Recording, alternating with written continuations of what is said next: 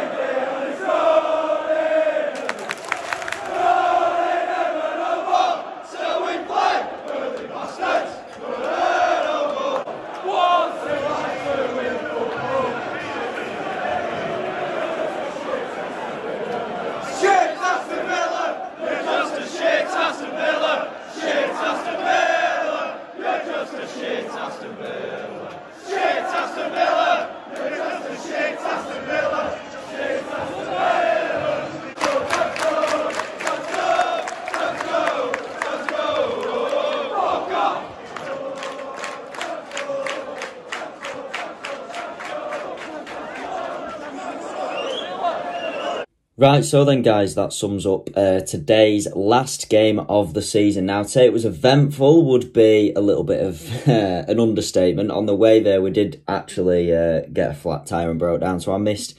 Well, we, we missed, sorry, the entire of the first half and the two Rovers goals, which uh, is a bit of a shame, but we still made the most of it.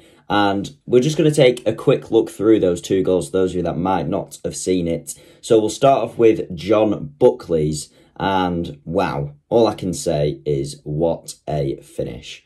Um, normally, Buckley, when he shoots, either side foots it or it goes straight to the keeper. He is the playmaker. He links the passes and things like that. He's not normally one for scoring goals, but what a finish.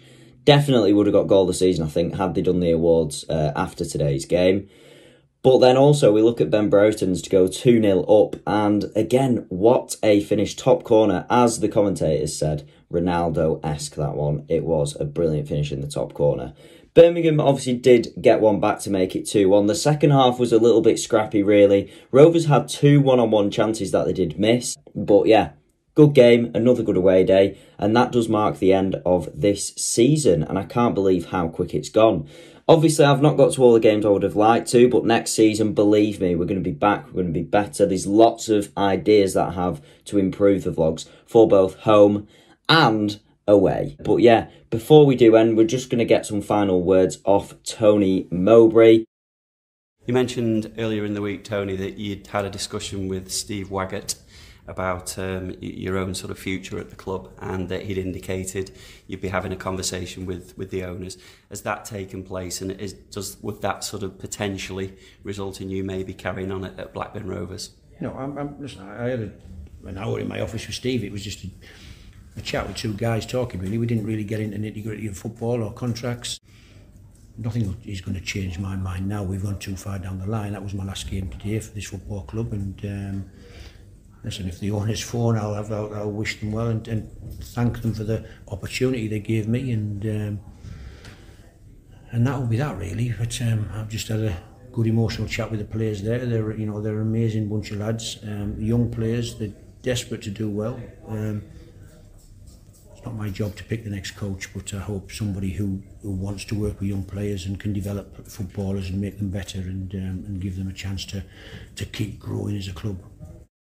But yeah, what a man. Five years in charge, done a brilliant job. He's took Rovers into a much better position than they were originally and got us out of League One for starters. And he's turned us into a solid championship team again, back where we belong. I think it's only a matter of time before we get back in those playoffs and into the Premier League. I really do. And yeah, without further ado, guys, that ends this vlog, ends this season. Uh, have a lovely summer, and I'll see you all again very soon.